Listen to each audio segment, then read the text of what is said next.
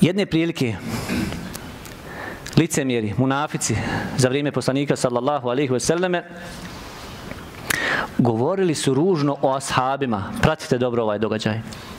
Govorili su ružno o ashabima i kažu šta će oni lijenštine i tako dalje sa velikim stomacima. Kad bude došla borba, kaže, neće oni moći, kaže, tu da učestvuju debeljuce nekakve i tako dalje. Znači, ružno se obhodili, jel tako, prema ashabima. Pa je Allah uzvišeni objavio ajet ili ajete iz sure Teube. Inače, sura Teuba, dakle, ona se naziva i Fadiha, znači ona koja razotkriva munafike. Pa, im je, pa, su, pa će im, be im je bilo kazano, zar se, sa, zar se ismijavate? Kažu, inna kunna na hudu ve nal'ab. Mi smo samo onako pričali, šege zbijali, smijali se onako. Šta je tu sporno, hoće da kažu, što su se ismijavali sa ashabima. Pa Allah Đalešanuhu kaže, E billahi wa ayatihi wa rasulihi kuntum testehzi'un Zar da se sa Allahom i njegovim ajetima, znači njegovom objavom i njegovim poslanikom, zar da se time ismijavate i time zbivate šale? La ta'tadiru kad kefertum ba'da imanikum. Kaže nemojte se opravdavati. Nemojte sami sebi tražiti opravdanja. Postali ste nevjernici nakon što ste bili muslimani. Nakon što je iman bio u vašim srcima, u vašim prsima, gotovo, sad ste postali nevjernici. Ako pogledamo malo detaljnije, s kime su se ismijavali ovi licemjeri ili munafci? Sa ashabima. Nisu se ismijavali sa Allahom. Nisu ni sa Allahom i. Nego sa ashabima. Tu nisu svi bili učenjaci. Ali je bilo učenjaka i zato Allah Đelešanuhu kaže ovdje poredi. Znači, ko se bude sa nekim od učenjaka ili sa skupinom učenjaka ismijavao, sa njima zbijao šale, šta će on priča, šta on ima priča, gdje je on bio, šta, kao, kao kada, kada bismo i tako kazali današnje vrijeme, a ima takvih, šta će on priča, šta on ima, gdje on bio, gdje je studirao, šta, šta, je, šta je radio i tako dalje. Kaže, zar da se sa Allahom i njegovim ajetima i njegovim poslanikom, kaže, zbijate šale. A oni nisu zbijali šale sa Allahom, niti sa ajetima niti sa poslanikom. Zbog toga što su govorili ružno i smijavali se sa ashabima.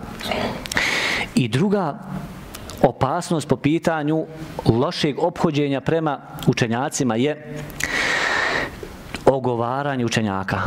Mi, jel tako, znamo da čovjek ukoliko ogovara običnog muslimana, nije isto kad ogovaraš svog komšiju koji ti je tu u tvom ulazu, u tvojoj zgradi i onoga koji stane nekoliko zgrada dalje od tebe.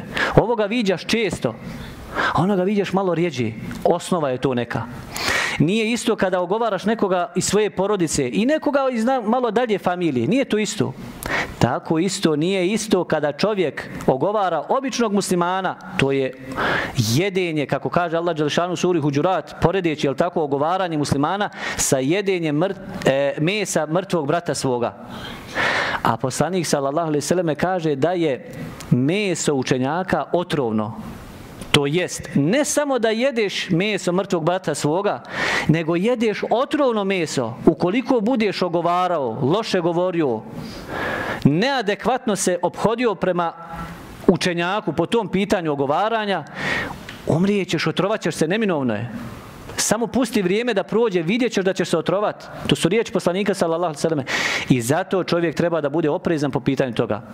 Ne smije sebi čovjek dopustiti. Znači, ako ćeš bar ogovarat nekoga, ogovaraj svoje roditelje. Svoje roditelje ogovara, neki idu njima se vapi. Je tako? A učenjake ostavi, nemoj njih nikako. Zadnje negdje tamo ostavi učenjake. Zato što ćeš se otrovat, uništit ćeš svoj iman, uništit ćeš svoj islam. Jedan primjer iz života, znam čovjeka, spominjao je ove naše bosanske učenjake i daje, a možda čak i neke svjetske ružnim imenima, na ružan način, ružno se obhodeći, iako je bio u vjeri, iako je bio jedan od organizatora islamskih predavanja i slično tome. Ljudi su ga upozoravali, koji su ga znali malo bolje. Upozoravali ga na to, nije se kanio toga. I Allah uzvišeni, Allah najbolje zna, iskušao ga je time da je ostavio vjeru. Zamislite kad imate omladinca koji sve to organizuje, koji sve pripremi ovako predavanje, dersove koji desetak ili 15 godina učestvuje u tome i bude određenim učenim ljudima, našim učenim ljudima u Bosni, bude im što se kaže desna ruka, na pomoći 0.20 do 24 sata.